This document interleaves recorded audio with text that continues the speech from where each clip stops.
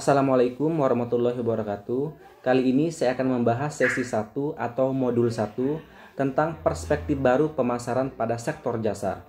Pada inisiasi satu ini, kita akan mendiskusikan materi pemasaran jasa mengenai perspektif baru pemasaran pada sektor jasa sesuai dengan modul eh, edisi 2 EKMA 4568. Nah, kegiatan belajar satu ini mengenai pengertian pemasaran jasa dan kegiatan belajar dua mengenai perkembangan uh, sektor jasa.